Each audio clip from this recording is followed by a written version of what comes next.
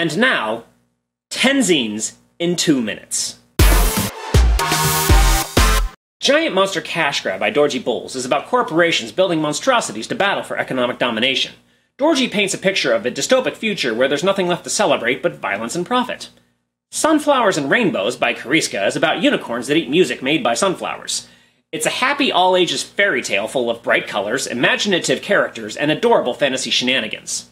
Sabertooth Vampire by Mike Russell is about the tribulations of a dentally gifted Nosferatu. Russell displays remarkable skill at producing zine after zine of stupidly hilarious visual comedy. Seeking Truth by Charles Daugherty is about the author asking strangers if they've seen his buddy named Truth.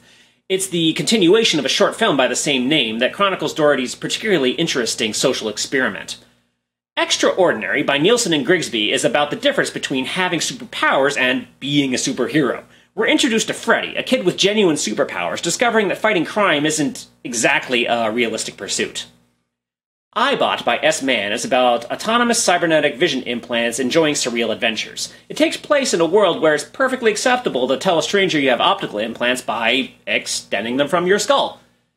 Eat Eat Eat by Tom Van Deusen is a gross reflection on gluttony, vanity, and other modern charms. Deusen's comics aim to disturb you by excessively exaggerating perfectly realistic Western values. Foul Mouthed Little Bastard by Seth D. Witz is a lovable nonfiction autobiography that delivers exactly what it says on the label. Seth is quite literally a very small man with a very large temper who tells his remarkable life adventures through comics. Meow by Narboo is about a bunny feeding mac and cheese to a cat. Narboo is a prolific Seattle painter whose comical art style has inevitably led him to crafting light-hearted, nonsensical comic stories.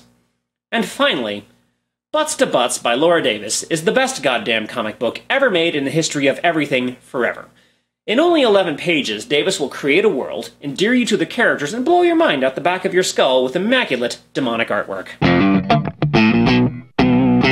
I'm Jer, and this has been 10 zines in 2 minutes on Comic Soup.